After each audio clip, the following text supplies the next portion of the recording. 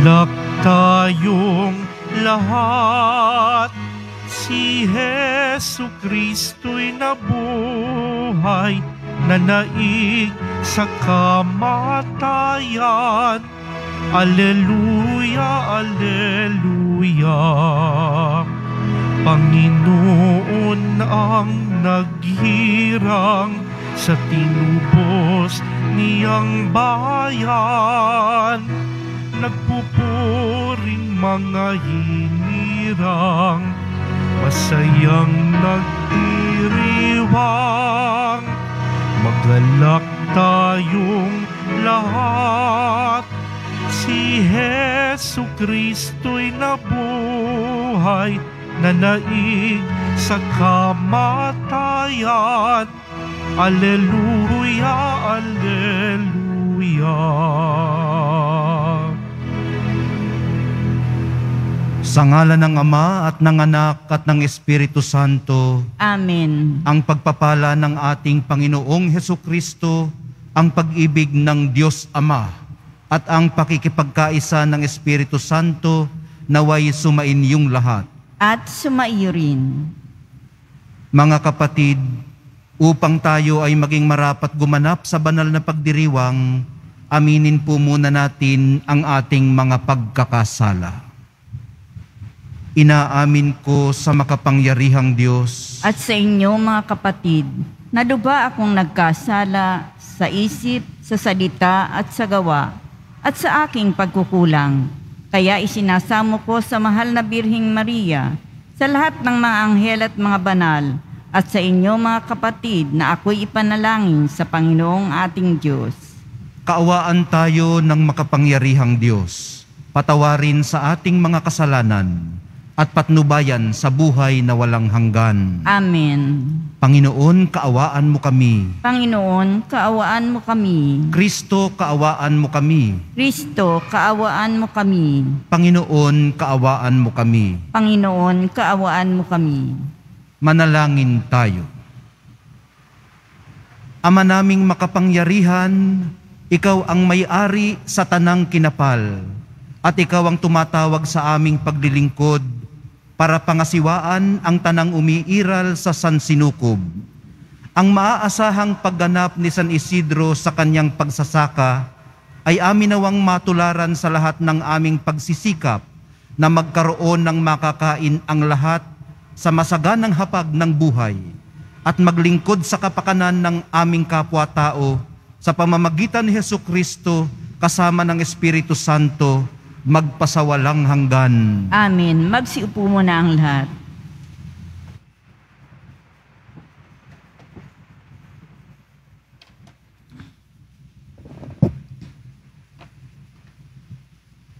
Pagbasa mula sa mga gawa ng mga apostol. Mula sa Troas, tuloy-tuloy kaming naglayag patungong sa Motrasia at kinabukasay sa Neapolis.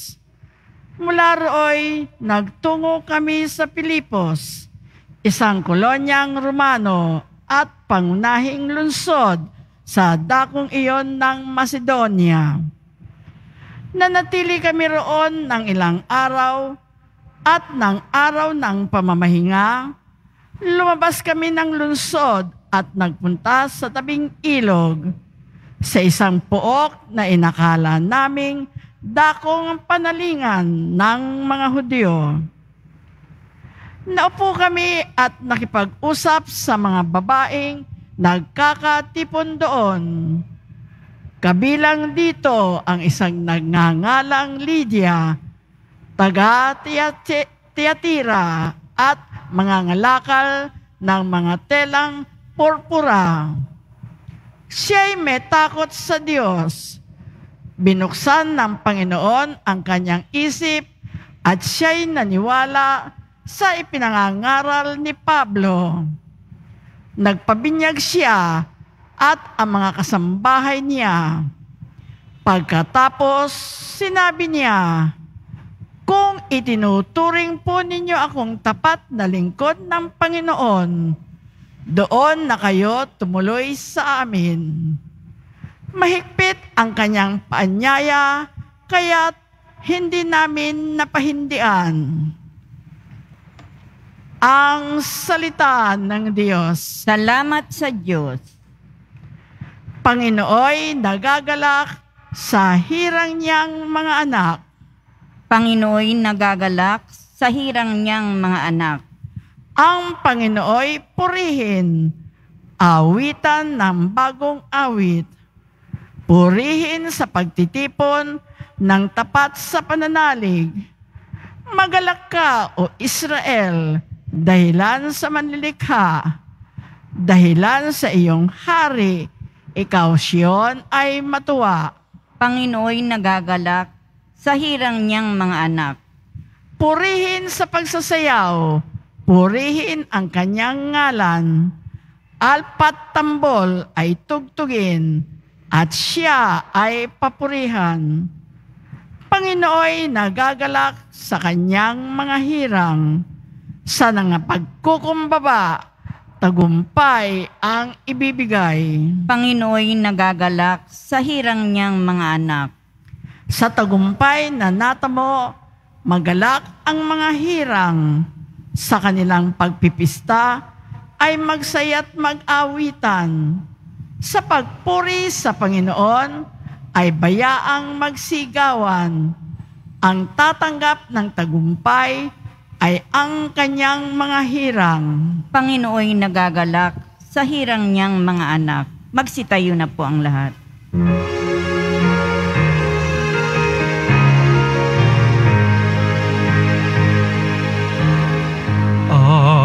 Alleluia. Alleluia. Alleluia.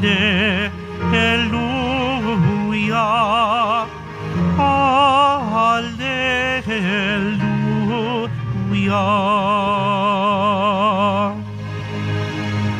Kayo at ang Espiritu ang siyang magpapatotoo tungkol sa aral ni Kristo.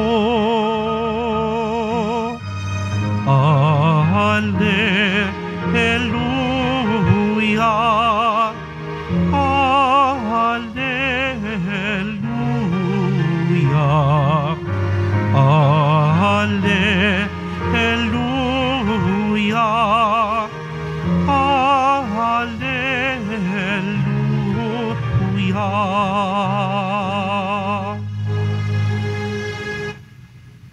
Sumainyo ang Panginoon. At sumaiyo rin. Ang mabuting balita ng Panginoon ayon kay San Juan. Papuri sa iyo, Panginoon.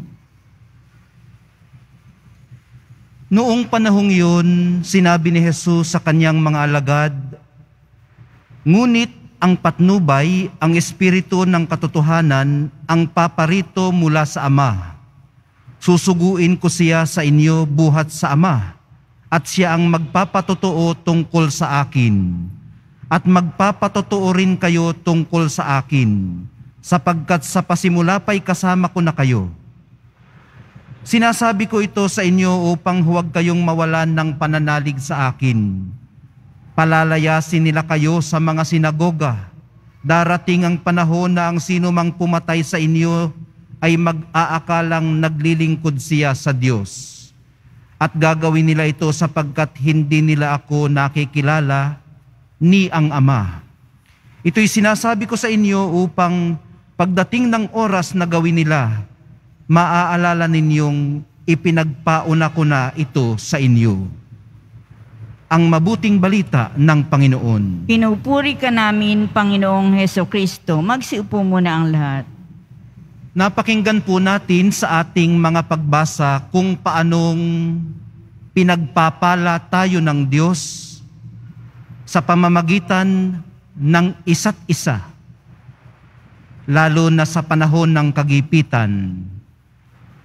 Dahil makaaasa po tayo sa kanyang kagandahang loob. na hindi tayo pababayaan ng Espiritu Santo. Pagpapala ng Diyos sa pamamagitan ng isa't isa. Dahil kailangan po natin ang kalinga, paglingap, at pagtataguyod ng isa't isa bilang iisang komunidad na pinagbubuklod ng pagmamahalan. Hopefully, yun ang nagbubuklod sa atin. Ano? Pagmamahalan, hindi pangangailangan. Nang may pagkilala sa ginagawa ng Diyos sa kanya, sinuklian ni Lydia ang generosity ng Diyos sa kanya. Sa pamamagitan naman ng hospitality niya kina San Pablo, paying it forward ang movement sa kalooban ni Lydia. Maaring tayo man ay may mga Lydia sa ating buhay. Tita ang tawag natin sa kanila, lalo na ng mga pari at seminarista, mga tumanggap ng biyaya sa Diyos at hindi nakalimot lumingon sa nagbigay nito sa kanila. Sinasabi ng katotohanan ito sa atin ngayon, mga kapatid, na ang nararapat lamang na tugon ng mga nabiyayaan ay magbiyaya rin sa iba mula sa ating tinanggap. Alam ni Lydia kung paano ito gagawin ng konkreto sa kanyang buhay. Patutuloyin niya sa kanila ang mga misyonero. Kung meron nga naman silang matutuluyan, malaking kagaanan na yun sa kanila para sa kanilang ministry. Hindi na sila mangungupahan o magtatayo ng tent para tuluyan. Mas makakafocus sila sa mga bagong hamon at posibilidad ng kanilang misyon sa Asia Minor o yung tinatawag natin ngayon na Syria at Turkey. Kaya naman napamahal na rin kay Apostol Pablo ang mga taga-Filipos. Sino nga ba naman ang misyonerong hindi mapapamahal sa kanyang mission area kung pinakikitunguhan siya ng maayos doon? Bago pa man kasi pumaroon sina Apostol Pablo, ay nauna na sa kanila ang Espiritu Santo. Naghahasik ng binhi ng mabuting balita, nagkukultivate ng lupa kung saan ito yayabong, at inihahanda ang anihin para sa darating na mga misyonero. Ito rin po ang matibay na isinabuhay ni San Isidro Labrador. Bilang isang magsasaka, alam niya kung paano magpatulo ng pawis para sa kanyang kakainin. Nakita niya ang kahalagahan ng paglilinang ng lupa para may maani ang iba at mabusog din ang karamihan. Niyakap niya ng buo ang pagsamba sa Diyos at pakikibaka sa buhay. At dinala siya nito sa di matatawarang generosity sa kapwa kung paanong tumanggap din siya ng generosity ng Diyos sa kanyang mga ani. Sina Lydia at San Isidro Labrador ay hindi po mga alamat ng pagtanggap at pagbibigay. Nabuhay po silang gaya natin, nagbanat ng buto para mabuhay at makapagbigay buhay.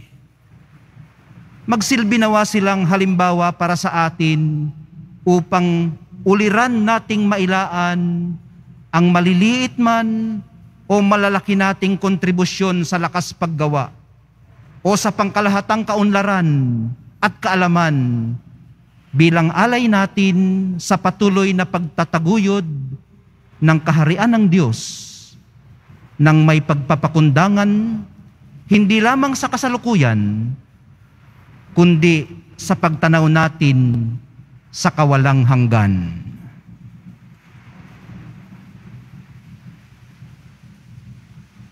Magsitayo na po ang lahat.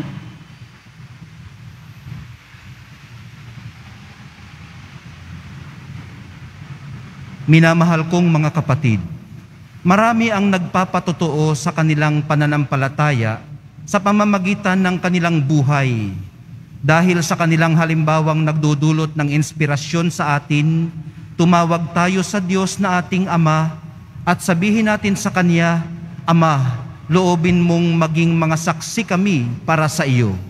Ama, loobin mong maging mga saksi kami para sa iyo. Ang mga pinuno ng simbahan naway walang patid na magsikap sa paghahatid ng mensahe ng Diyos ng pagsisisi sa kasalanan sa mga taong may pusong tapat na naghahanap sa Diyos. Manalangin tayo. Ama, loobin mong maging mga saksi kami para sa iyo. Ang mga politiko at mga taong tinitingala sa larangan ng politika naway maging mga kasangkapan ng katotohanan ni Kristo sa pamamagitan ng marangal nilang pamumuhay, manalangin tayo. Ama, loobin mong maging mga saksi kami para sa iyo. Ang mga pagsubok na dinaranas natin araw-araw, naway hindi magpahina ng ating loob at sa halip ay magpalago ng ating pananampalataya. Manalangin tayo. Ama, loobin mong maging mga saksi kami para sa iyo. Ang mga may sakit, naway maging matatag sa kanilang pananampalataya at masigasig sa kanilang mithiin. Manalangin tayo. Ama, loobin mong maging mga saksi kami para sa iyo. Ang mga yumao, naway makatagpo ng kapanatagan at kaligayahan sa kaharian ng Diyos. Manalangin tayo. Ama, loobin mong maging mga saksi kami para sa iyo. Ang mga biktima ng sunog sa Oroquieta ay naway makatanggap ng pagkalinga at pagmamalasakit ng kapwa. Manalangin tayo. Ama, loobin mong maging mga saksi kami para sa iyo. Ama, pagkalooban mo kami ng karunungan at katatagan sa pamamagitan ng banal na Espiritu upang kami ay maging malalakas at matatapat na saksi sa iyong pag-ibig sa bawat yugto ng aming buhay. Hinihiling po namin ito sa pamamagitan ni Kristo na anak mo at aming Panginoon. Amen. Magsiupo muna ang lahat.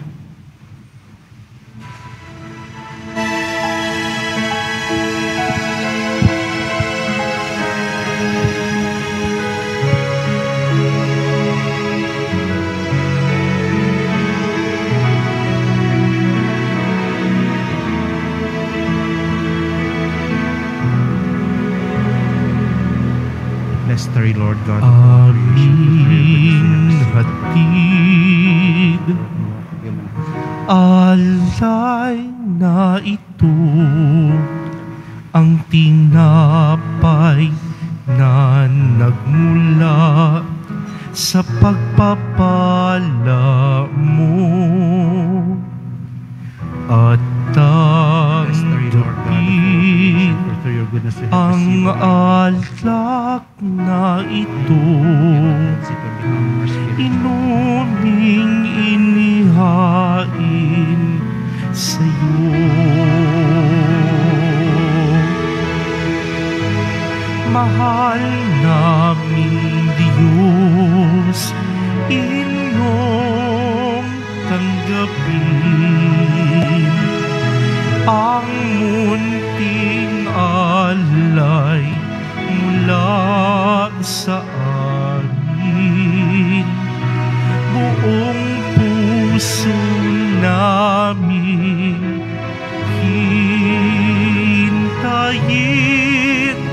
pagpapala na amin hiling. Magsitayo na po ang lahat. Manalangin kayo mga kapatid upang itong ating paghahain ay kalugdan ng Diyos amang makapangyarihan. Tanggapin nawa ng Panginoon itong paghahain sa iyong mga kamay. Sa sa kapurihan niya at karangalan, sa ating kapakinabangan at sa buong sambayanan niyang banal. Ama naming lumikha, pagpalain mo ang mga alay na bunga ng pagtatanim at pag-aani ng mga magsasakang kagaya ni San Isidro. Ang pinagpaguran nila sa tag-ulan at tag-araw ay siya nawang maging pagkain at inuming sa amin ay nagbibigay buhay sa pamamagitan ni Heso Kristo kasama ng Espiritu Santo magpasawalang hanggan. Amen. Sumainyo ang Panginoon. At sumairin. Itaas sa Diyos ang inyong puso at diwa. Itinaasa namin sa Panginoon. Pasalamatan natin ang Panginoong ating Diyos. Marapat na siya ay pasalamatan. Ama naming makapangyarihan, tunay ngang marapat na ikaw ay aming pasalamatan.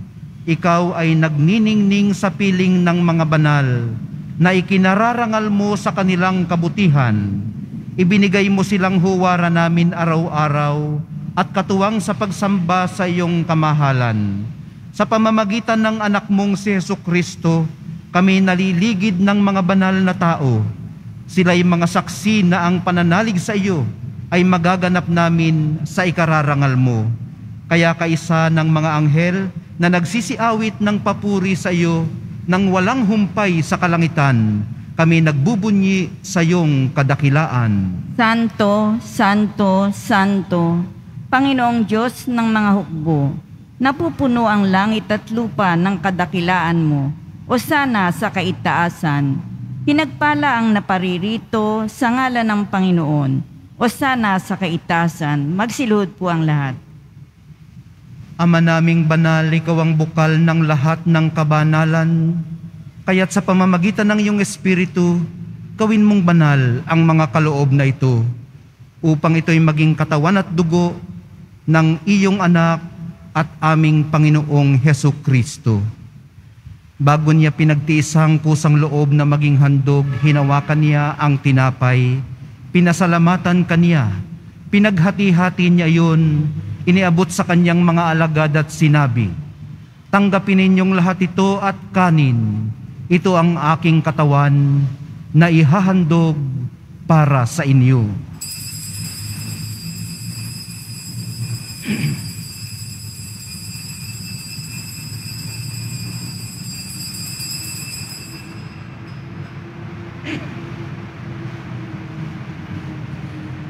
Gayon din naman noong matapos ang hapunan, hinawakan niya ang kalis. Muli kanyang pinasalamatan. Iniabot niya ang kalis sa kanyang mga alagad at sinabi, Tanggapin ninyong lahat ito at inumin. Ito ang kalis ng aking dugo, ng bago at walang hanggang tipan, ang aking dugo na ibubuhos para sa inyo at para sa lahat sa ikapagpapatawad ng mga kasalanan. Gawin ninyo ito sa pag-alaala sa akin.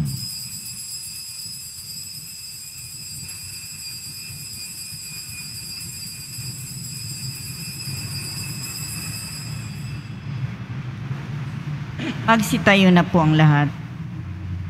Ipagbunyi natin ang misteryo ng pananampalataya. Si Kristo'y namatay, si Kristo'y nabuhay, si Kristo'y babalik sa wakas ng panahon. Ama, ginagawa namin ngayon ang pag-alala sa pagkamatay at muling pagkabuhay ng iyong anak. Kaya't iniaalay namin sa iyo ang tinapay na nagbibigay buhay at ang kalis na nagkakaloob ng kaligtasan. Kami nagpapasalamat dahil kami iyong minarapat na tumayo sa harap mo para maglingkod sa iyo. Isinasamo naming kaming magsasalo-salo sa katawan at dugo ni Kristo ay mabuklod sa pagkakaisa sa pamamagitan ng Espiritu Santo. Ama, lingapin mo ang iyong simbahang laganap sa buong daigdig. Puspusin mo kami sa pag-ibig, kaysa ni Francisco na aming Santo Papa at ni Jose na aming Arsobispot ng Tanang Kaparian at ng iyong piniling sambayanan. Alalahanin mo rin ang mga kapatid naming nahimlay nang may pag-asang sila'y muling mabubuhay, gayon din ang lahat ng mga pumanaw. Kaawaan mo sila at patuloyin sa iyong kaliwanagan. Kawaan mo at pagindapatin kaming lahat na makasalo sa iyong buhay na walang wakas. kaisa ng mahal na Birheng Maria na ina ng Diyos, ng kabiyak ng puso niyang si San Jose, kaisa ng mga apostol ni San Juan Bautista at ng lahat ng mga banal na namuhay dito sa daigdig ng kalugod-lugod sa iyo, may pagdiwang nawa namin ang pagpupuri sa ikararangal mo sa pamamagitan ng iyong anak na aming Panginoong Heso Kristo.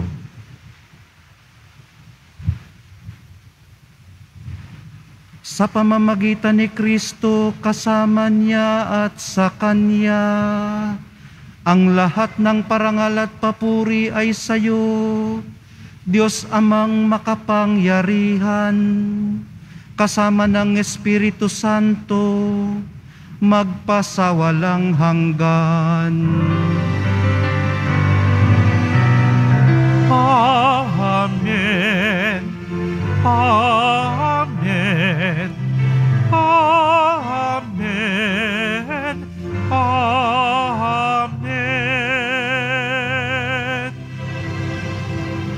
Itinuring po tayo ni Jesus na hindi na iba sa Kanya, kaya po may lakas ng loob tayong tawagin ng Kanyang Ama na atin ding Ama.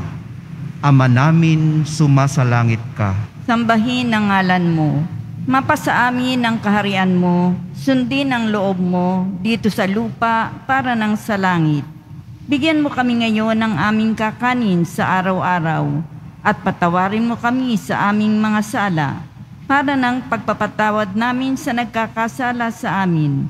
At huwag mo kaming ipahintulot sa tukso at yadya mo kami sa lahat ng masama. Hinihiling po namin kami iadya sa lahat ng masama. Pagkalooban ng kapayapaan araw-araw, iligtas sa kasalanan at ilayo sa lahat ng kapahamakan. Samantalang aming pinananabikan ang dakilang araw ng pagpapahayag ng tagapagligtas naming si Heso Kristo. Sapagkat iyo ang kaharian at ang kapangyarihan at ang kapurihan magpakailanman. Amen. Panginoong Heso Kristo, sinabi mo sa iyong mga apostol, kapayapaan ang iniiwan ko sa inyo, ang aking kapayapaan ang ibinibigay ko sa inyo. Tunghayan mo ang aming pananampalataya at huwag ang aming pagkakasala.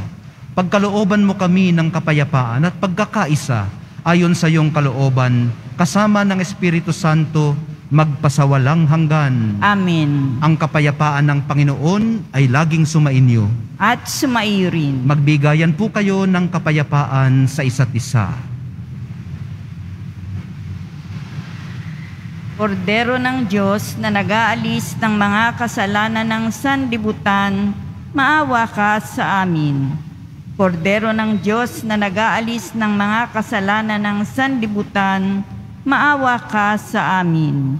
Kordero ng Diyos na nag-aalis ng mga kasalanan ng sanlibutan, ipagkaloob mo sa amin ang kapayapaan. Magsiluhod po ang lahat.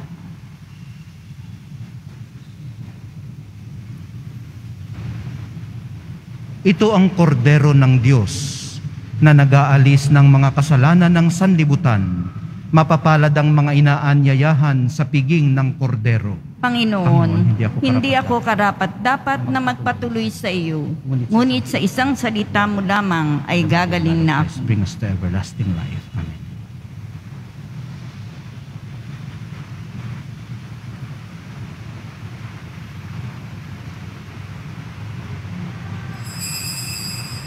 Para sa lahat ng tatanggap ng banal na komunyon, sasagot po tayo ng amin pagkasabi ng pari o ng lay minister ng katawan ni Kristo at isubo agad sa bibig bago umalis sa harapan ng pari o lay minister. Sumunod po tayo. Maraming salamat po.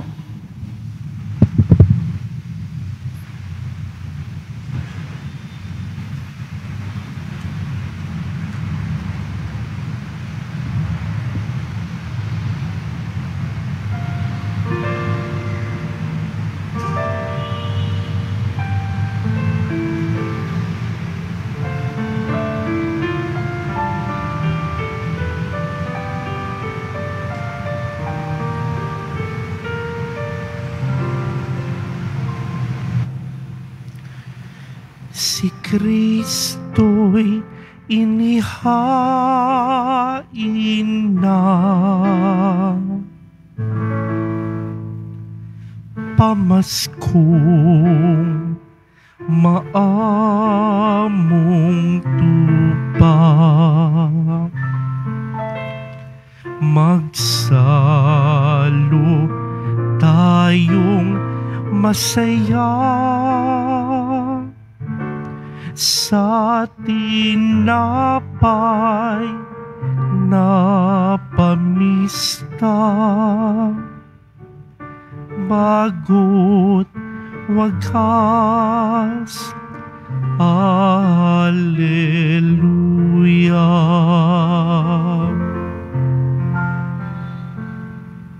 Purihin ang Panginoon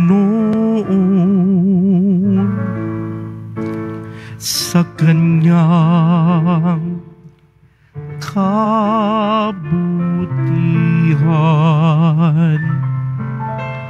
Pag-ibig niya'y tunay laging tapat kailanman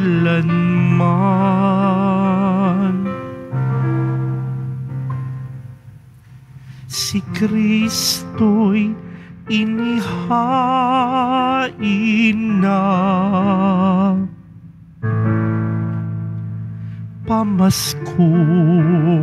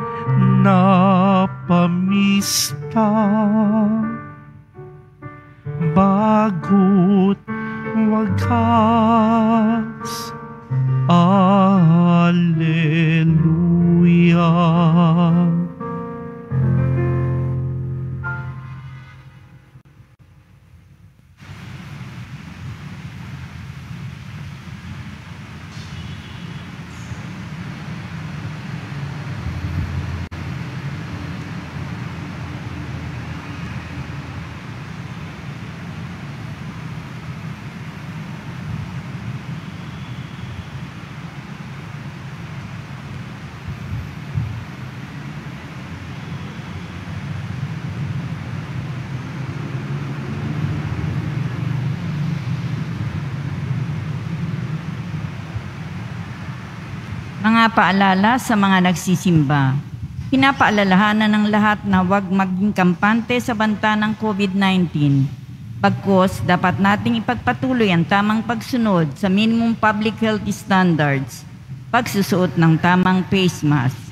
Maraming salamat po sa inyong pagdalaw at pagsisimba sa Basilica Menor ng Itim na Nazareno.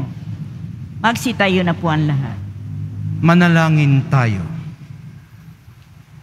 Ama naming mapagmahal, ipinagpapasalamat namin itong aming pagsasalo sa tanim at ani ng mga magsasakang katulad ni San Isidro na iyong idinangal. Ang kanyang malasakit na paglingkuran ka at ang kapwa ay siya nawang umiral sa aming pagsisikap na hainan ang lahat ng iyong bigay nakakanin sa araw-araw. Sa pamamagitan din ni Heso Kristo, kasama ng Espiritu Santo, magpasawalang hanggan. Amen. Sumainyo ang Panginoon. At sumaiyo rin. Mahal na poong Jesus Nazareno, inihayag mo sa pamamagitan ng krus ang walang maliw na pag-ibig ng Diyos sa sangkatauhan. Pakinggan mo ang kahilingan ng iyong angkan na nagsusumamo sa iyo. Makamtanawa nila ang iyong katugunan at tanggapin ang kasagutan na may utang na loob na tinatanaw. Basbasan din po ninyo ang kanilang mga pinasasalamatan, idinadalangin at mga pinagsusumikapan sa araw-araw, pati na ang kanilang mga daladalang imahen at dasalan. Sa pamamagitan ng bendisyon na ito, naway maalala nila ang mga pangako nila noon sa binyag, na ikaw ang kanilang iibigin at paglilingkuran bilang Panginoon, magpasawalang hanggan Amen. at pagpalain kayong lahat at ang inyong pamilya at mga komunidad ng makapangyarihang Diyos, Ama, Anak, at Espiritu Santo, Amen. na ihandog na po natin ang banal na misa, humayo kayong taglay ang kapayapaan, pag-ibig at pag-asa ng poong Jesus Nazareno. Salamat sa Diyos.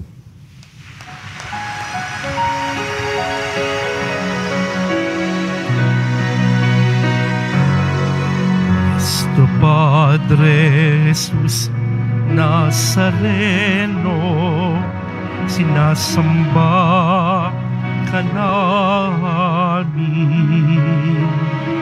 Pinipintuho ka namin. Aral mo ang aming buhay at kaligtasan. Padre Jesus Nazareno, iligtas mo kami sa kasalanan. Ang krus mong kinamatayan ay sagisag ng aming kaligtasan. Nuestro Padre Jesus Nazareno, dinarangal ka na amin. Nuestro Padre Jesus Nazareno, nilulwalhati ka. Nuestro Padre Jesus Nazareno, dinarangal ka namin. Nuestro Padre Jesus Nazareno, nilulwalhati ka namin.